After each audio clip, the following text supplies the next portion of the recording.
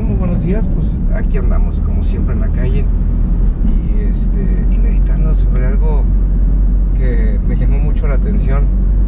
Fíjese, qué interesante. La Biblia dice que nuestra boca habla de aquello que dejamos que anide o que habite o que abunde en nuestro corazón. Hay mucha gente que anda buscando todo el tiempo de alguna manera justificarse como una buena persona, porque todos quisiéramos ser bien aceptados por las personas allá afuera.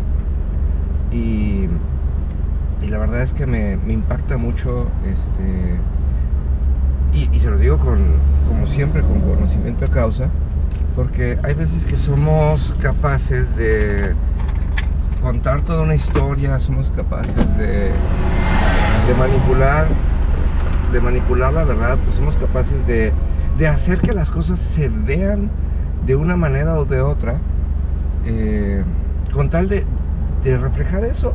Y hay veces que incluso hacemos esa misma venta con nosotros mismos. Entonces, si me explico, hay veces que nosotros necesitamos tranquilizar nuestra conciencia y, y, hacernos creer y entender que somos buenas personas. Cuando realmente no existe un parámetro como una buena persona porque ni somos completamente buenos, pero tampoco somos completamente malos. O sea, eh, la, la, Biblia nos enseña que los que hemos decidido entregarle nuestra vida a Cristo, ¿sí? entramos en un proceso de perfeccionamiento porque realmente nuestro objetivo en la vida no es ser felices, realmente nuestro objetivo en la vida es ser perfectos, ser perfeccionados. La felicidad es una consecuencia del trabajo que Jesús hace en nuestro corazón en el día a día. Y, y, eso lo tenemos que tener muy, muy en cuenta. Hay mucha gente que dice, yo, yo fui creado para ser feliz, no perfecto. Pues será que no habrás leído la Biblia. Pero la gran ventaja es que la perfección incluye la felicidad.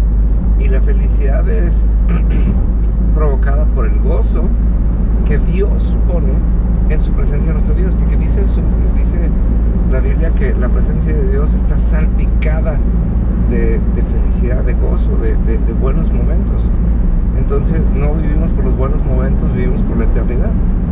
Entonces, la, la ventaja en el reino de Dios es que el reino es tangible y nos permite ver los avances, nos permite ver cómo, cómo lo que ayer ya no, lo que ayer éramos ya no lo somos el día de hoy.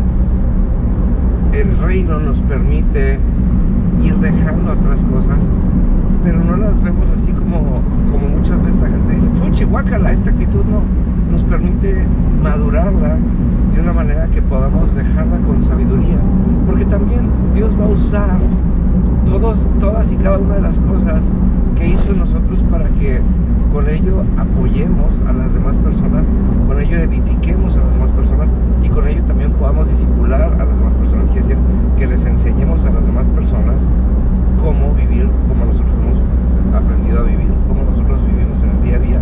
Eso es un discipulado. Entonces, ahora, esto es importantísimo. ¿Quieres ser una buena persona? Una buena persona se distingue por el dar. ¿Dar qué?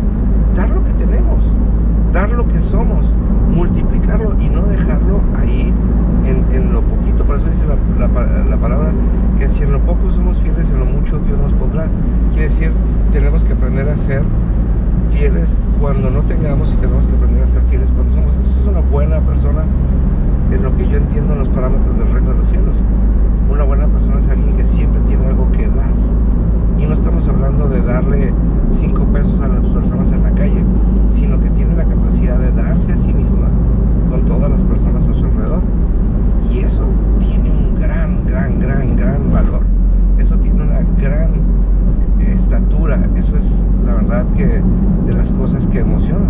Entonces, pues yo creo que queridos amigos, valdría la pena eh, examinar lo que sale de nuestra boca para que podamos ver lo que hay en nuestro corazón. Y cuando veamos lo que hay en nuestro corazón podamos llevarlo delante de Dios y decirle Señor me preocupa que salga esto pero también no he aprendido o no he sabido cómo no permitirlo o no he sabido cómo alimentar mi corazón de mejores cosas.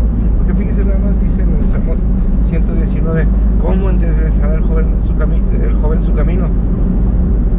Obedeciendo la palabra de Dios.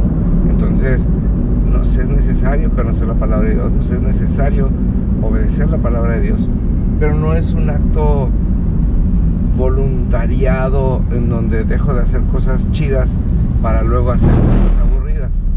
Tiene que ver con el hecho de hacer cosas que ahora sí que dejar de hacer cosas efímeras y empezar a hacer cosas eternas. Así que se los dejo para que lo mediten. Gracias como siempre por su tiempo, por su atención, por estar aquí